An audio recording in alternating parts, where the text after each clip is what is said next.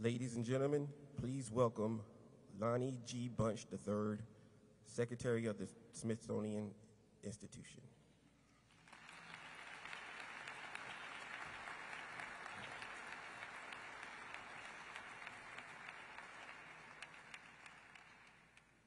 Kim Sajet, Director of the Smithsonian's National Portrait Gallery.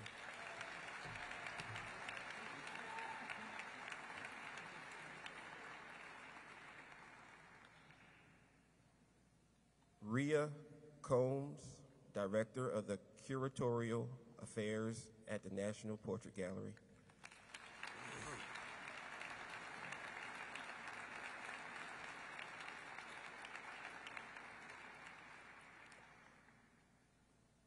Shawn Michael Warren, portrait artist.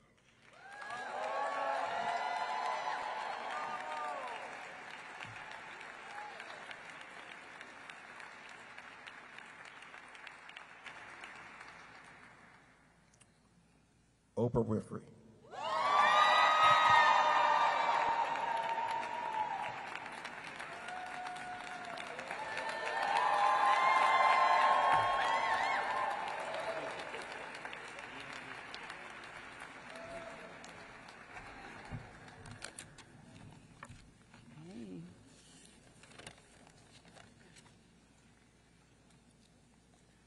Good morning. Yay! this is a party after all.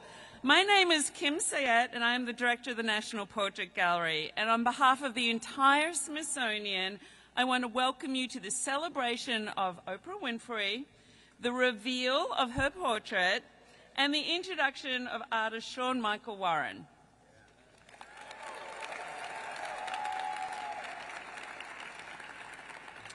You know, it was precisely for moments such as this that Congress founded the National Portrait Gallery in 1962 to tell the stories of remarkable individuals who have made significant contributions to US history and culture through the skill of the nation's most accomplished artists. A museum where art and biography come together to tell the American story.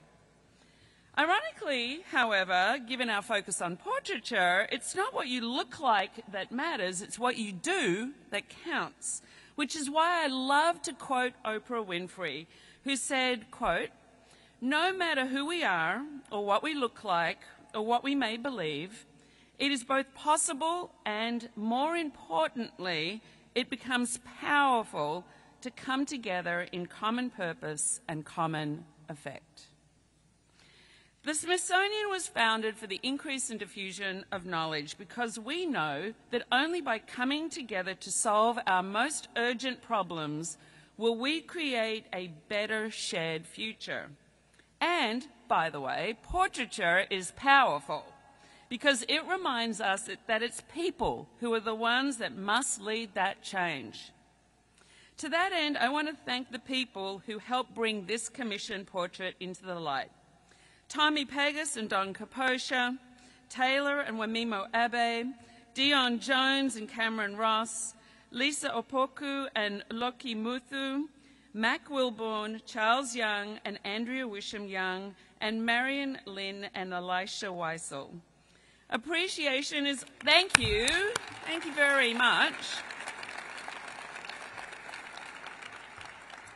Appreciation is also ex extended to our commissioners, Lyndon Barrois and Nicole Washington, and Dr. Rhea Combs, our Director of Curatorial Affairs, who, will, who worked with Shawn on the commission, who you'll be hearing from shortly, and of course the museum's dedicated staff.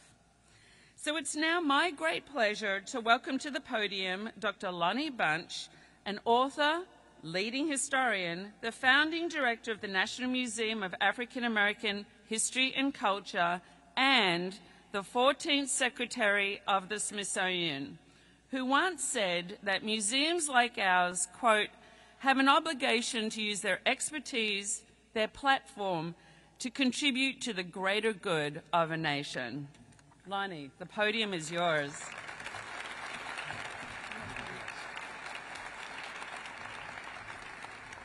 Thank you, Kim. I am so excited and I'm so pleased that you're all here to share this amazing moment as we celebrate a cultural icon whose life, whose work, whose generosity, and whose commitment to freedom and fairness has helped to shape this nation. Oprah's impact on America and on the world is wide and deep. In fact, I thought this morning that I was going to make a list of all the things Oprah does and of all the people she's touched, but I ran out of paper. I'm old school, right? Um, but what I realized is that Oprah has never run out of ideas, nor has she ever tempered her commitment to use her creativity to make us all better. Oprah came of age during the civil rights movement and during a period of changing media landscape, both of which shaped who she became. Oprah used television as a tool to help change the country. Her shows promoted literacy through her book clubs, enabled important cultural and personal conversations, and inspired generations of young women and people of color to change the world they live in.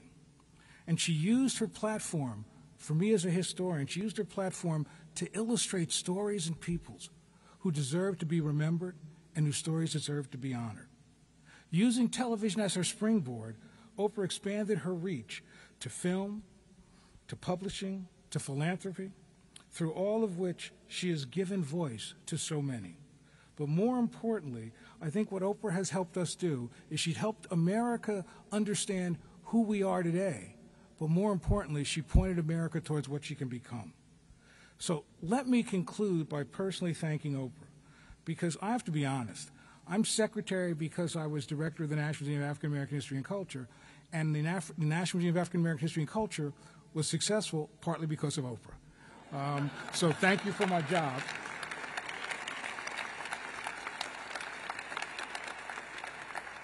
Shoot. oh, my daughters, thank you. Um, you know, you may not remember, but from the very moment I became secretary, you took time with me. We got together and we talked about the importance of audience, to know your audience, to respect your audience. You spent a lot of time talking to me about storytelling, about how to make sure that you're able to engage a variety of people in a new museum. And maybe most importantly, you taught me, you stressed the importance that this museum, a museum of history, has to be as much about today and tomorrow as it is about the past. So I could not be more pleased, more honored, more humbled to be the Secretary of the Smithsonian that welcomes your portrait into the collections of the National Portrait Gallery. I love that.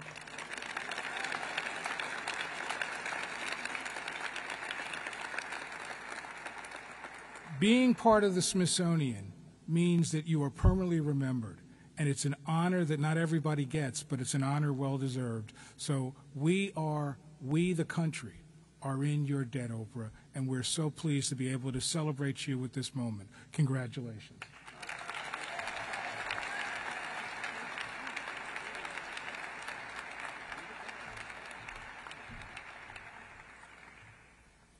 Good morning, everyone. It is an honor to be here. Um, I am Rhea Combs, the Director of Curatorial Affairs at the National Portrait Gallery. What a treat to have each of you here this morning. Throughout history, there are things that bind us together, and I feel like this is one of those moments because this special occasion, in many ways, feels incredibly unique while simultaneously full circle full circle because I had the unique opportunity several years ago to co-create, co-curate an exhibition on Oprah Winfrey for the Smithsonian's National Museum of African American History and Culture. Combing through archives, I found images of Miss Winfrey at various stages of her life, growing up in rural Mississippi, her formative years attending cotillions and participating in Miss Black Tennessee pageants, as well as during her early career in radio and eventually moving to television and films. Reflecting upon those various images of Miss Winfrey, um, and now standing here with this portrait of an incredibly accomplished and highly respected woman entering the permanent collection of the National Portrait Gallery alongside other cultural change agents, world leaders, and titans of industry feels incredibly momentous. It is also deeply significant because this moment highlights the hard work of Chicago based artist Shawn Michael Warren.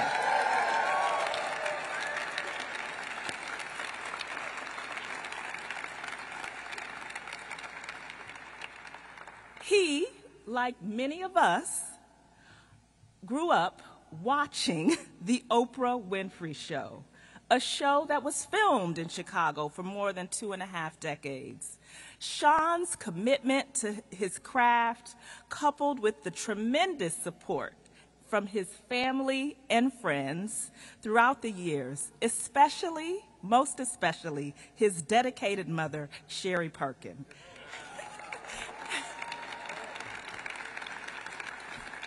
Has, has made this full circle moment come together. And so I am so proud to welcome you both to our museum and our city. I want to acknowledge a special thank you from the Mayor of Washington, D.C., Muriel Bowser, uh, on your accomplishments, Shawn. And now, may I ask that Shawn Michael Warren and Miss Oprah Winfrey come forward to unveil the portrait.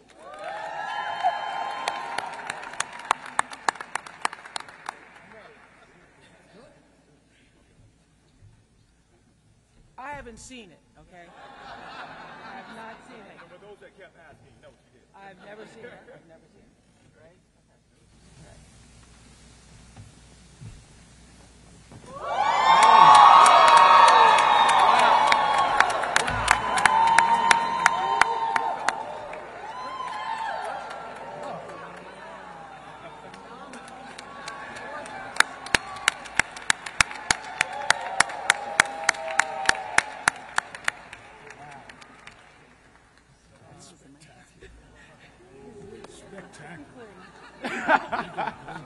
Great job. Great job. Thank you. Great job.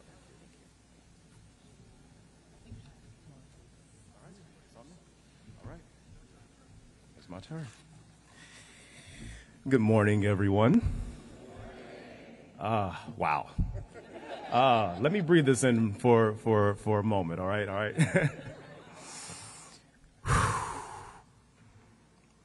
it's an honor to be here amongst you all today. Uh, it's not overselling to, to acknowledge that this, there's just a lifetime of things I could say right now, but for the time that I do have, I do want to extend my gratitude to a few people. Miss Winfrey, my friend and my muse. I am tremendously humbled to have been your choice to take on the task of capturing your likeness and essence for a purpose that will outlive both you and I.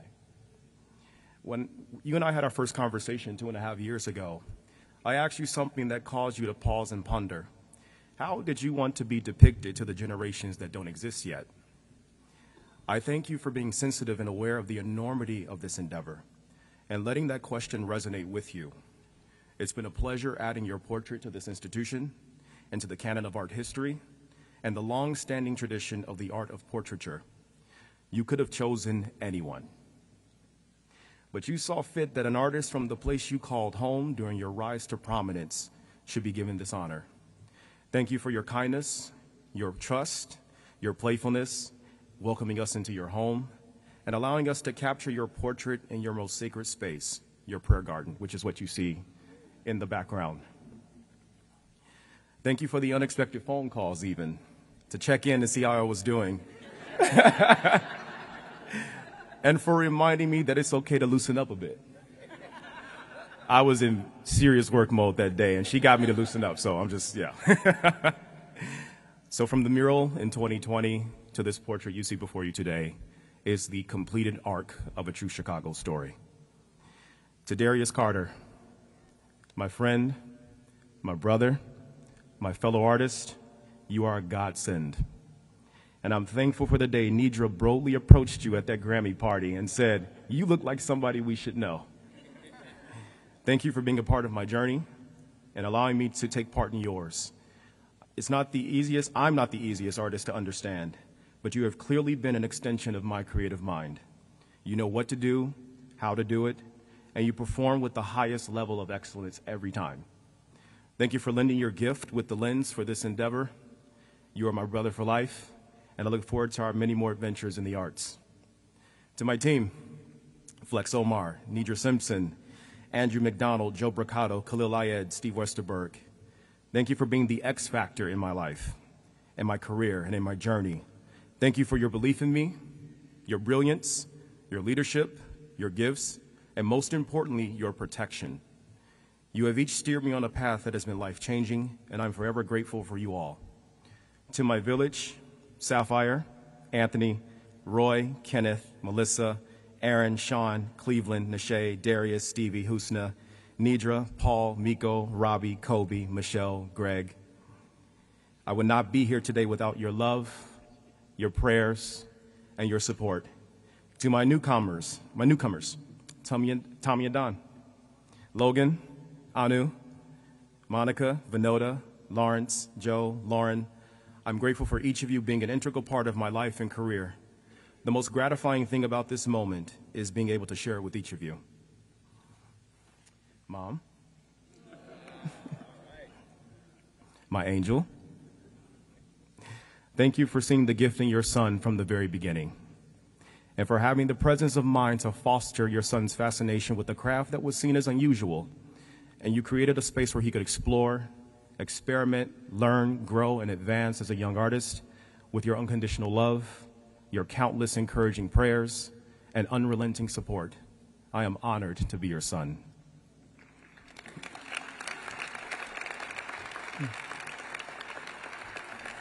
Pops? yeah, I'm getting you too. I honor you for your guidance, your discipline, your hard lessons about life that would help your son navigate a complicated world and would serve as an example on how to be a gentleman. I mean, you see how he's dressed, so I get it from him. Um, but how to look a person in the eye when you shake their hand, how to defend oneself, how to fight when absolutely necessary, and how even though life isn't always fair, when the opportunity presents itself, be prepared to put your best foot forward. These are tools I will continue to carry with me for the rest of my life. To the National Portrait Gallery, I thank you all for taking a relatively obscure artist and entrusting him with the task of capturing one of the world's most iconic women. To Rhea Combs, thank you for being a guide throughout these two and a half years. Thank you for taking the reins and seeing this endeavor through to the end. It's been a long road to get here, but I'm grateful to see the end result of this journey. Talani, Kim, the chairman, board members, commissioners, and donors. Thank you for being the arbiters of truth and, and an institution that covers all aspects of history and culture, the good and not so good. This is vital to telling the full narrative of our history and the individuals that have made a profound impact on our society. Thank you for being the cultural hub in which Ms. Winfrey and I deposit our contribution to art history and world history. I leave you with one request and that is has continued to guide, protect, and foster meaningful relationships with artists. They are an essential part of chronicling the game changers and happenings of our society, and they possess the courage to speak out for those who have no voice. They represent the underrepresented, and they bring light to issues and events that shift the course of our society and future the world over. As Nina Simone once said, it is an artist's duty to reflect the times, and it is by your patronage and support that these stories and icons will, live on throughout the halls of this institution. It is my hope that this portrait will cause future generations to become curious of the life, legacy, and philanthropic acts of Ms. Winfrey, and that it will inspire the next generation of leaders, givers, and pioneers to come. Lastly, I want to dedicate this moment to three muses that helped raise and influence my life that are no longer here Sandra Jones, Ella B. Legs, and Clarissa Adams three women I had the pleasure of calling grandmother during their time here on earth. I am tremendously blessed to be a part of their legacy and to bring honor to their names on today. Thank you, and to God be the glory.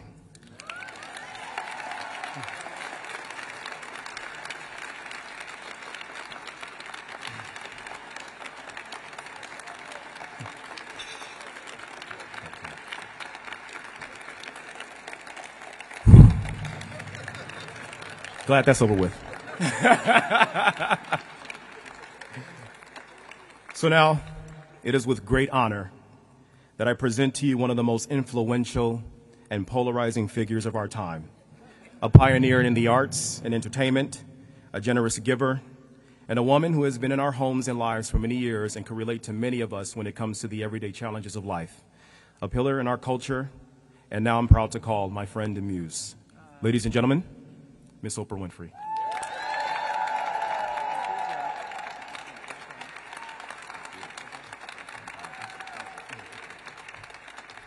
Wow. Have a seat, everybody. Hello, hello, hello, hello. Ah, the color purple. Well, I have to say, um, thank you, Lonnie Bunch. Rhea, I love you so much. Thank you. We've been, you, you know me. You have been through all my stuff. Thank you. Kim, thank you for making this day possible. I was walking through my house just last week and going from the kitchen into the dining room. And in the dining room, there's a bowed, like French window. And I was looking out through that window and I gasped because the view was so beautiful and the light was so perfect. I stepped back and did a rewind to do it again to make sure that I was really alive and breathing and I wasn't just in a dream. And then I did it again.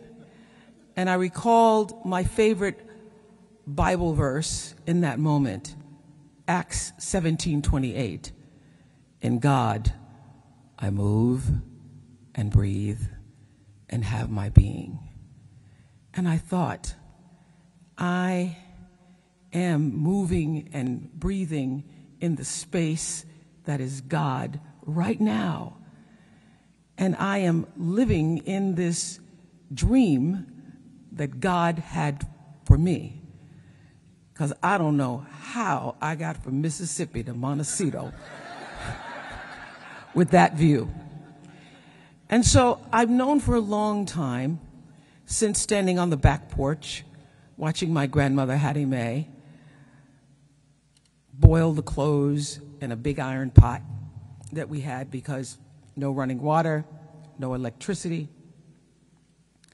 And watching her say to me, Oprah Gail, you better pay attention now because one day you're going to have to learn how to do this for yourself. And inside my spirit, I knew, no, Grandmama, that is not going to be me. That ain't me. But I had sense enough to keep that to myself. And I just said, Yes, ma'am. I could feel inside my being when I was very young, I think as early as four, when I first started speaking in the church. That's where my broadcasting career began. With Jesus rose on Easter Day. Hallelujah, hallelujah. All the angels did proclaim. Y'all remember when we used to get Easter pieces? Because it'd be just like a little piece because you couldn't get the whole thing. And I could feel that there was something inside me. I could hear that still small voice. And I started to pay attention to it at a very young age. And that still small voice has led me to this day. And I can tell you that I learned to lean into it and to understand that God can dream a bigger dream for you than you can ever dream for yourself. Because of all the dreams that I had, I didn't even know there was a National Gallery.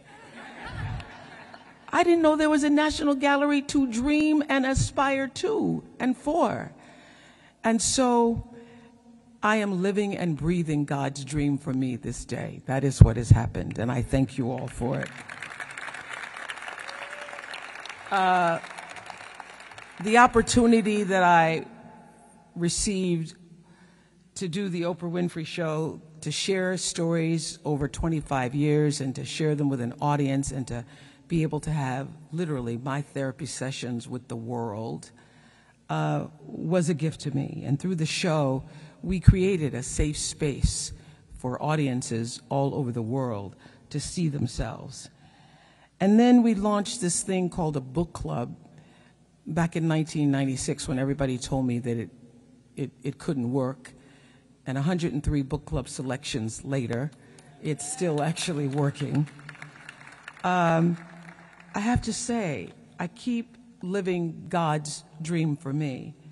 And so as I stand here on the eve of my 70th birthday, to have a portrait included in the National Portrait Gallery alongside all the greats Harriet Tubman, Frederick Douglass, Abraham Lincoln and Ida B. Wells, Michelle and Barack Obama, Lena Horne, John F. Kennedy, Oprah Winfrey.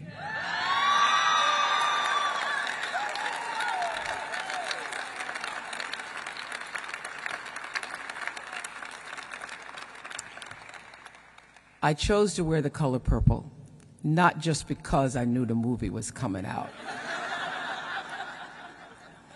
two years ago. I chose to wear the color purple because, for me, that color has been seminal in my life. So now I get to stand in the space of reimagining this film with Blitz Bazawule, who is our fantastic director, Scott Sanders, who had the idea to take the color purple and make it into a Broadway show. I said, How are you going to do a Broadway show? Was Celie going to be singing and sweeping at the same time? And she actually is. So Scott and Steven Spielberg and Quincy Jones and I reimagined the film, and it's coming out, and it's wonderful, and I do hope you all go to see it on Christmas Day. But it's it's get your tickets now. Um, but it's not just because I was in a movie that the color purple represents so much for me. You know, in the film, Shug says to Celie, you know, God get pissed if he see you passing a field with the color purple and you don't notice it. Well, in fact, the color purple and noticing it to me is the essence of what God represents. The complications of making the color purple and the simplicity. And that role in that movie that I wanted more than anything else in my life served as a foundation for my future because when I received the opportunity to do the color purple, my bosses at the time said, You only have two weeks to get this film done. And I needed two months. So I said, I will give up all of my vacation for the remainder of my contract in order to do it. I will not take a vacation, a sick day, or a holiday again until the contract is over. And when the show started to be successful, my attorney at the time, Jeff Jacobs, said, You never want to be in that position again. You want to be in a position where you own yourself and nobody tells you that you can or cannot go and shoot a film. And it's because of the color purple that I said, Yes, I will take the risk of owning myself. And that decision changed everything. So the color purple is a, is, is, a foundation for me for all that it means in the story that Alice Walker wrote, but all that it has meant in my life. The ability to surrender and to know when you've done all that you can do, you give it to God. To know that hope and forgiveness continues to live and is needed no matter what, no matter how much AI, no matter how much technology, no matter how, how much social media hope and forgiveness and love. And so I feel so blessed to be able to pass the torch to this next generation that will carry that story forward. But more importantly, it continues to live in me. When Maya was here on earth, she taught me so much. And for my 50th birthday, she wrote a poem called Continue. I'm not going to do the whole poem. Y'all can Google it. But one of my favorite lines, she says in the poem, is that I hope you continue to astonish a mean world with your acts of kindness. And I hope that gratitude will be the pillow on which you kneel every night. And I want you to know that that is exactly what I intend to do to continue to astonish a mean world with my acts of kindness and continue to live in the space of gratitude and move and have my being in all of that which is God. To God be the glory. Thank you.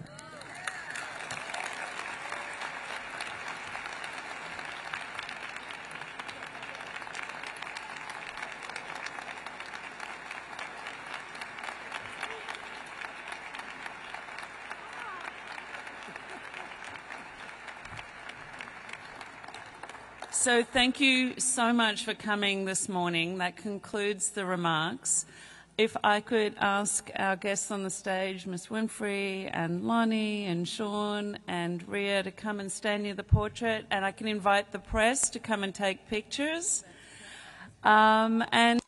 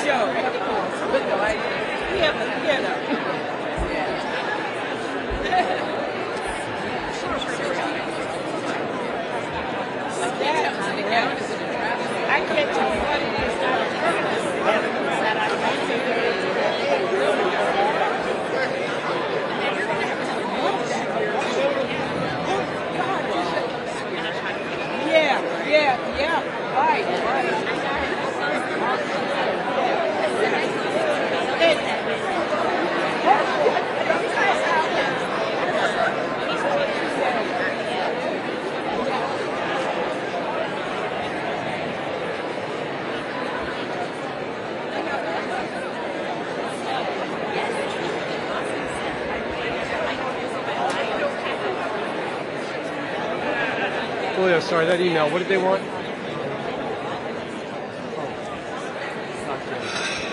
Yeah. Good to see you, Jeff. Be free after the fact.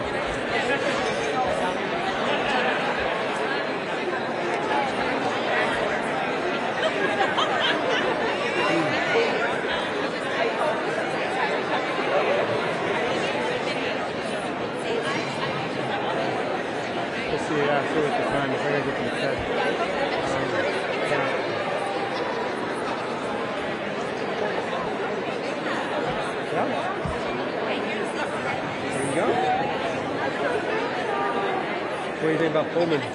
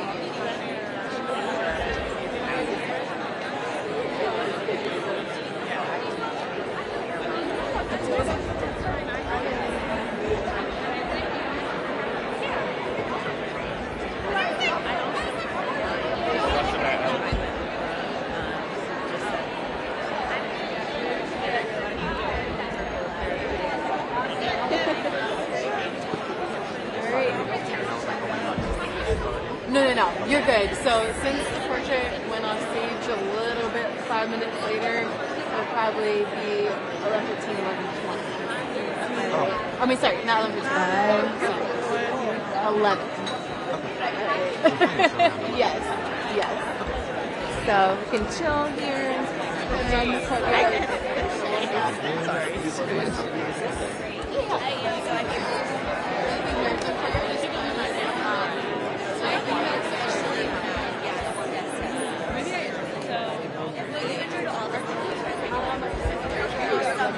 ¡Gracias!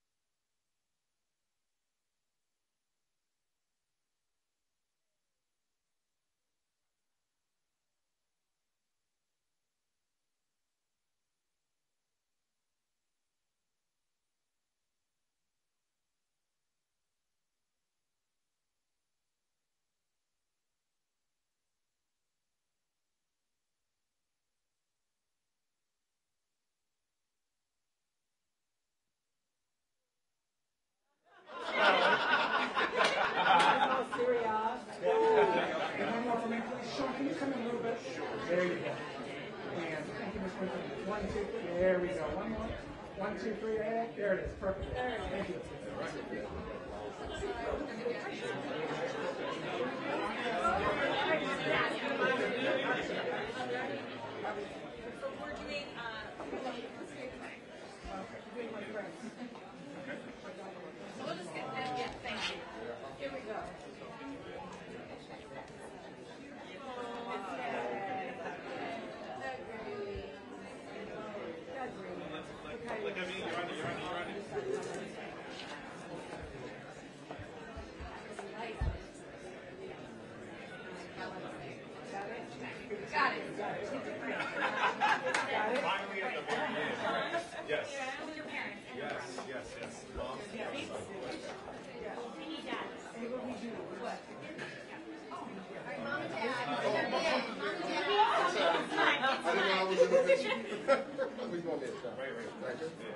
Right, everybody. Here we go.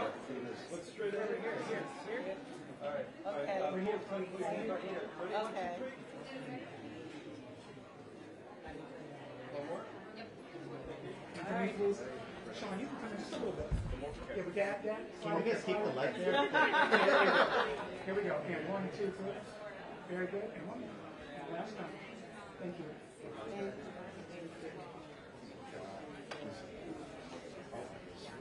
Yes, yes, yes. Yes. Is that everybody got their stuff? Everybody got what you need? David said, I'm not dressed for that. Well, I am. There we go, Gail. One more. Thank you so much. Get Leonard, get on the inside. This Way way. the other side too. Yeah, get on the- Can we keep the lights steady, please? on the other side. Can you keep the lights steady? Sure. Okay.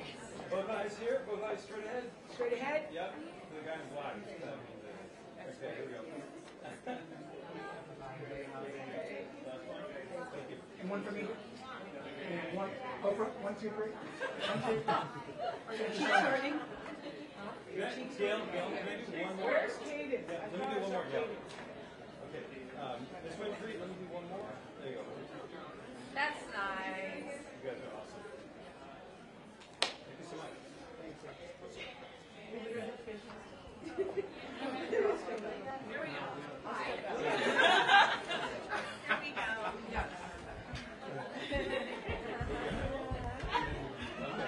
guys, ready? Here we are. Where we looking? One. Oh, yeah, sorry,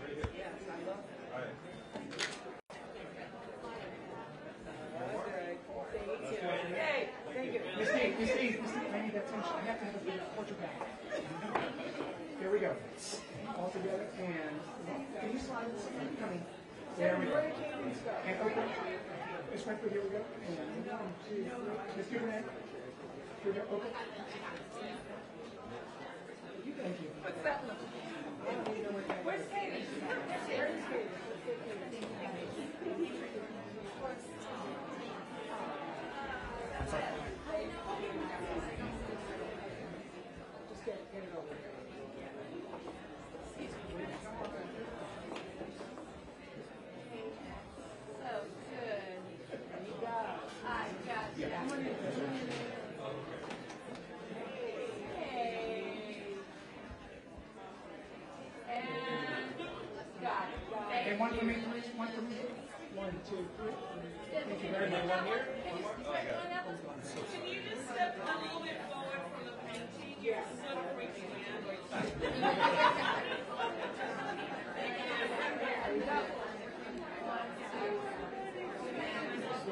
And one here, please, as well. And There one. you go.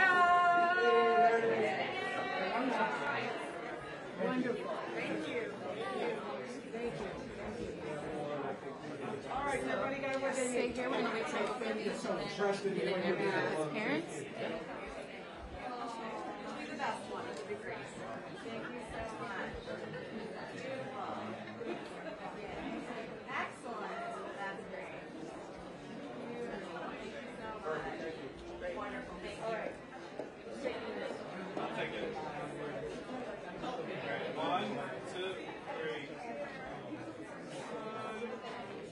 Hi, Gail. Are you leaving? I'll, I'll call you. Okay.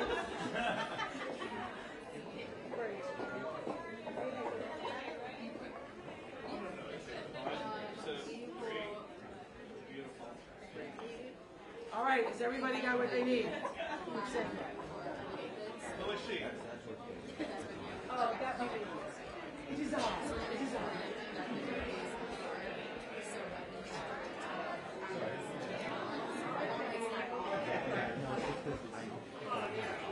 Okay, got you, got you. If you could just chill here, and then we'll we'll ask.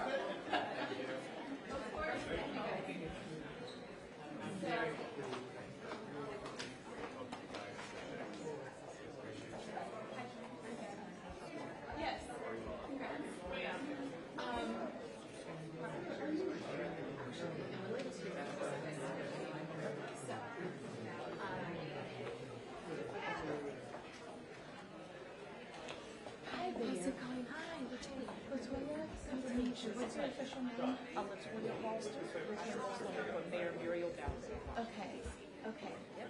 So, everybody, this is Latoya representing um, Mayor Muriel Bowser. I'm going to bestow the proclamation to Shawn. Can I read it out loud? Yep, go right ahead. All right, Shawn. What a day. On behalf of Mayor Bowser of Washington DC, I am pleased to offer hearty congratulations to Shawn Michael Warren on your National Portrait Gallery unveiling, as well as others offer thanks for your significant contributions to our city's visual and fine arts landscape. Born a native of Chicago, Illinois, your work as a painter and muralist has impacted the world of fine art immensely. As a young artist, you studied at the American Academy of Art and would soon be accepted into an intensive drawing program with the Florence Academy of Art.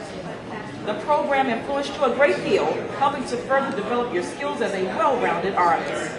As an established painter, you held firmly to your philosophy of art as a necessary medium and a service to your community, which is evident throughout your remarkable narrative paintings and portraits.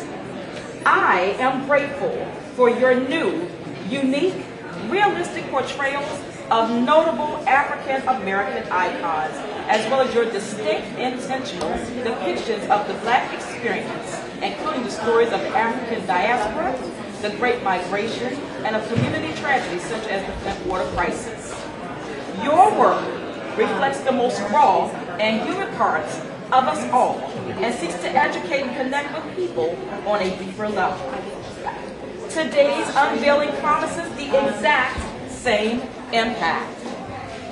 Your gift to the National Portrait Gallery not only honors Oprah Winfrey's legacy as one of the most influential African American women in the world, but also represents a notable merging of art and history. Oh, While Yeah, someone is coming out here. If you can. They had a meeting today. Yeah. And they're gonna do it?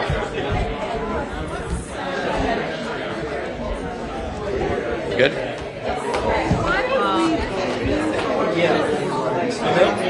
I'm ready.